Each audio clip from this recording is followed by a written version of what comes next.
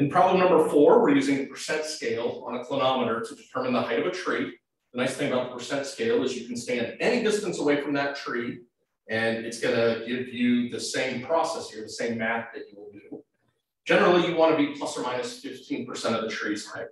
So if the tree is hundred feet tall, you would like to be, you know, between eighty-five and hundred fifteen feet away from the tree to get an accurate view of the top and have a good estimation of the height.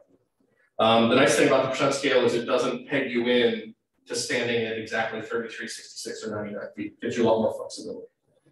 So with a clinometer, we always take our up angle and subtract our down angle. So here our up angle is 124 percent.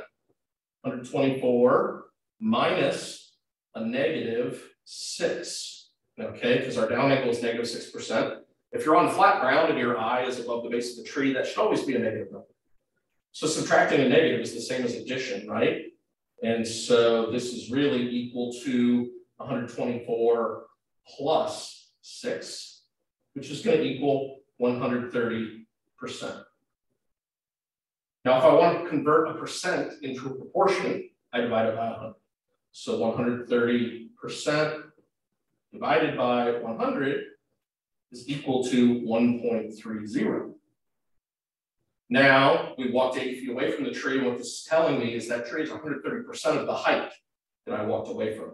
So to do that mathematically, it's now our 1.30 times 80 feet. So there's our units feet. When you do that, the tree should be 104 feet tall. And here's our answer. Now we walked 80 feet away from that. That's not exactly within our plus or minus 15% that we would like. Uh, that may not be the most accurate estimate we made of the height of this tree.